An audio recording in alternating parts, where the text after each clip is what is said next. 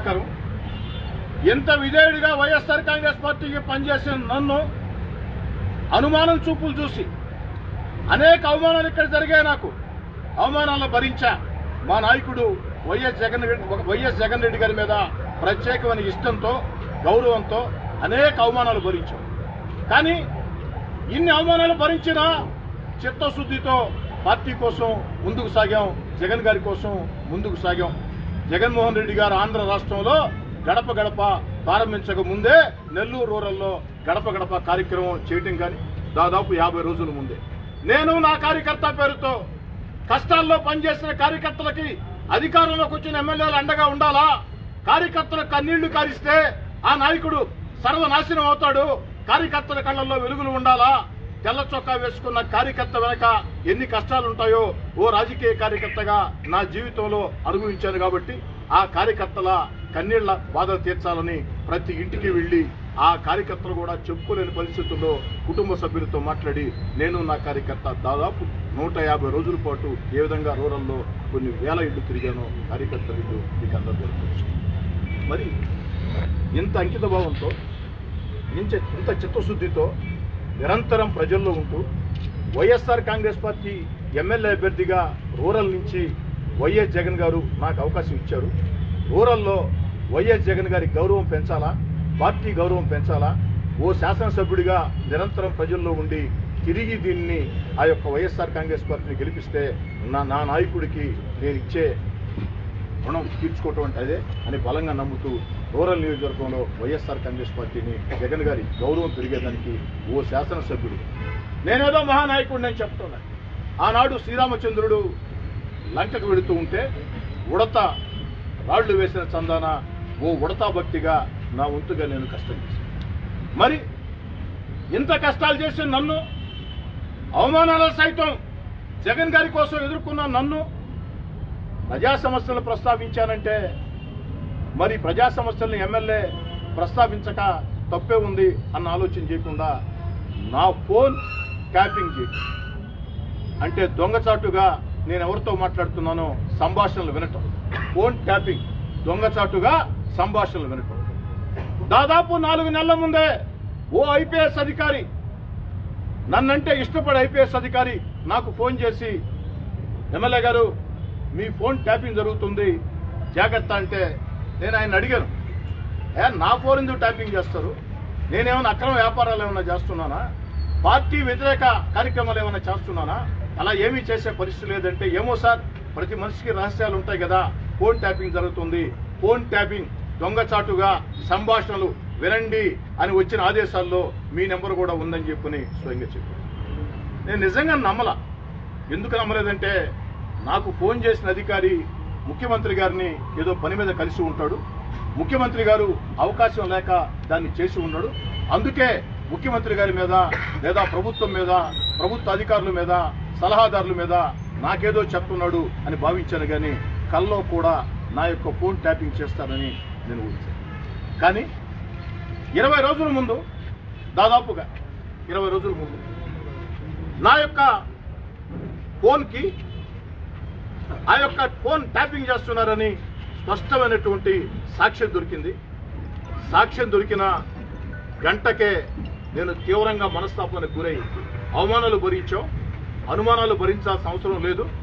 ఏదైతే మా నాయకుడు వైఎస్ జగన్మోహన్ రెడ్డి గారికి నా మీద విశ్వాసం సన్నగిల్లి తర్వాత నా ఫోన్ ఈ యొక్క ప్రభుత్వంలో అధికారులు చేశారంటే ఎవరు చెప్తే చేసి ఉంటారు. ముఖ్యమంత్రి గారు అన్న చెప్పాలా? లేక ప్రభుత్వ సలహాదారు సజ్జర్ రామకృష్ణారెడ్డి గారిన చెప్పాలా? అంత ఉన్నత స్థాయిలో చెప్పందే ఓ ఎమ్మెల్యే ఫోను అధికారులు ట్యాపింగ్ ఇచ్చారు. దాన్ని ఎత్తి అధికారులను ఎత్తినేయడం నాకు ఇష్టంలా అది సమంజసం కాదు. అధికారులు ప్రభుత్వంలో ఎవరు ఉంటే ఆ పెద్దల మాటలు వింటారు. ఆ అధికారుల పనితీరు గురించి నాకు పూర్తిగా అవగాహన ఉంది. వారు చెప్పి ఉంటేనే చేసి ఉంటారు. తీవ్రంగా మనస్తాపం చేసి అనుమానించిన చోట ఒక్క క్షణం కూడా ఉండాల్సిన అవసరం లేదు. అన్న ఒకటి నిర్ణయానికి వచ్చాను. దీంట్లో దాపరికం ఏమీ లేదు. నన్ను అనుమానించిన వెంటనే దాదాపుగా ఓ ఇరవై రోజుల ముందు దాకా నాకు అలాంటి ఆలోచన కూడా లేదు. కానీ నన్ను అనుమానించారు. నా ఫోన్ ట్యాపింగ్ చేశారు. నేను ఎవరితో మాట్లాడుతున్నానో దొంగచాటుగా సంభాషణలు విన్నారు అని తెలిసిన వెంటనే ఒక్క క్షణం కూడా అనుమానించిన చోట ఉండాల్సిన అవసరం లేదు. నా తలరాత ఎలా ఉంటే అలా అవుతుంది భగవంతుడు ఎలా రాసి పెట్టి ఉంటే అలా జరుగుతుందని చెప్పని నిర్ణయం తీసుకున్నాను.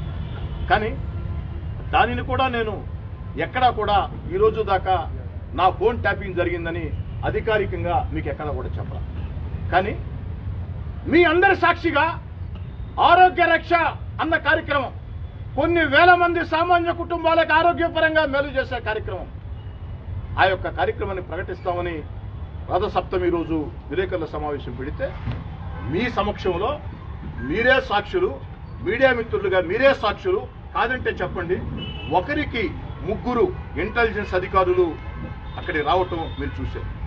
వారిని చూసి బాధ వేసి ఏమయ ప్రజాస్వామిక వ్యవస్థలో ఇంటెలిజెన్సీని రాజకీయ కార్యక్రమాలు పోవటం అది సరైన చర్య కాదు. కానీ ఇప్పుడు అది ప్రతి ఒక్కరూ చేస్తున్నారు. ఎవరు ప్రభుత్వాల్లో ఉన్నా కూడా ప్రతిపక్షం మీద ఆ ఇంటెలిజెన్స్ వ్యవస్థని వాడి యొక్క ఆలోచన తెలుసుకునే దానికి వాడుతున్నారు. కానీ ఇదేం కర్మయా ఇదేం కర్మ? అధికార పార్టీ ఎమ్మెల్యేల మీద నిఘా ఎందుకు? అవసరమా? అయినా మీరు ఒకవేళ నిఘా పెట్టాలనుకుంటే మీకు తెలియని రహస్యాలు మాట్లాడాలంటే వేరే ఫోన్లు ఉంటాయి ఫేస్ టైం ఆడియో కాల్స్ ఉంటాయి అని నేను ఆవేదన చెందిన మాట వాస్తవం.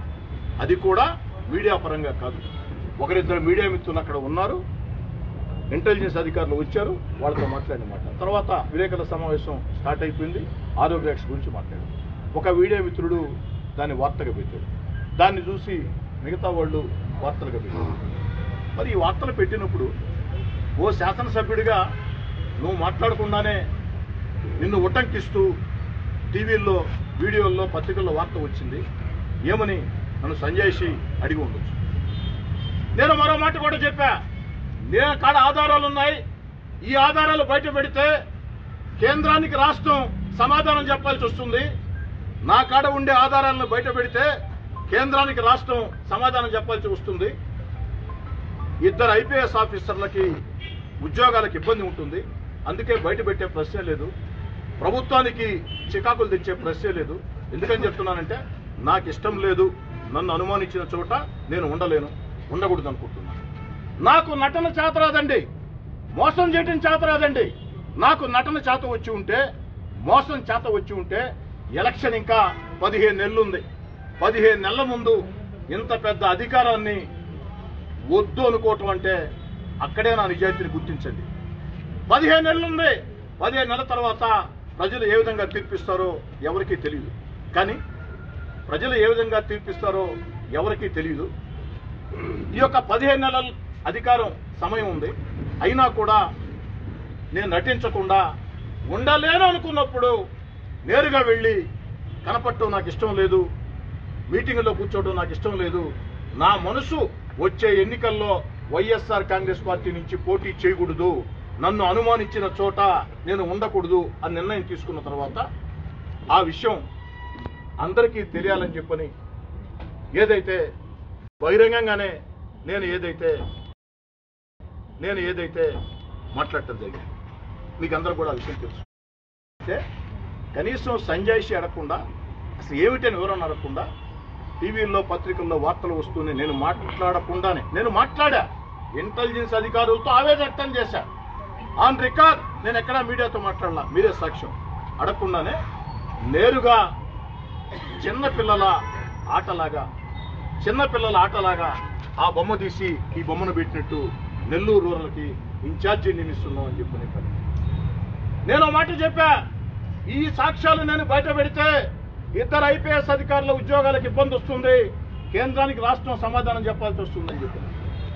మరి ప్రభుత్వ పరంగా ఎవరైనా సవాళ్ళు చేస్తే నాకు బయట పెట్టక తప్పదని కూడా మీడియా మిత్రులకు చెప్పా మీకు కూడా చూపించా ఆ సాక్ష్యం అంతా కూడా. ఆఫ్ ది రికార్డు కింద ఆ సాక్ష్యం కూడా చూపించింది మరి నేను రాజకీయాల్లో ఎంతో గౌరవించే బాలినేని శ్రీనివాసరెడ్డి గారు రీజనల్ కోఆర్డినేటర్ గారి స్థాయిలో నిన్న వచ్చి ఆ యొక్క ఫోన్ ట్యాపింగ్ అబద్ధం.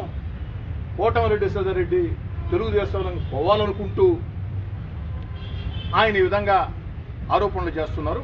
పోయేవాళ్ళు పోవచ్చు. అంతేగాని ఇది సరైన చర్య కాదు అన్నారు. బాలినేని శ్రీనివాసరెడ్డి గారు మీ మాటల్ని మీ మాటలుగా నేను భావించడంలా మీ మాటల్ని గౌరవ ముఖ్యమంత్రి వైఎస్ జగన్ గారి మాటలుగానే నేను భావిస్తూ ఉన్నా. నేను వెళ్ళే పరిస్థితి మీరు తీసుకువచ్చారా? నేను తెచ్చుకున్నానా? మరియు నిర్ణయం తీసుకున్న తర్వాత నటిస్తూ ఉండటం నాకు ఇష్టం లేక అనుమానించిన చోట ఉండటం నాకు ఇష్టం లేక నేను మానసికంగా సిద్ధమై నేను దూరంగా ఉండదలుచుకున్నా. కానీ మీరు సవాళ్ళు విసిరారు కాబట్టి ఫోన్ ట్యాపింగ్ అబద్ధం ఫోన్ ట్యాపింగ్ జరగలేదు అని బాలినేని శ్రీనివాసరెడ్డి గారు చెప్పారు కాబట్టి ముఖ్యమంత్రి గారి మాటగా భావించి నేను ఆ సాక్ష్యాలని మరో రెండు నిమిషాల్లో మీకు చూపించబోతూ ఉన్నా. ఇప్పుడు ప్రభుత్వ పెద్దలు ఏ సమాధానం చెప్తారో సమాధానం కావాలని చెప్పి అడుగుతూ ఉన్నా.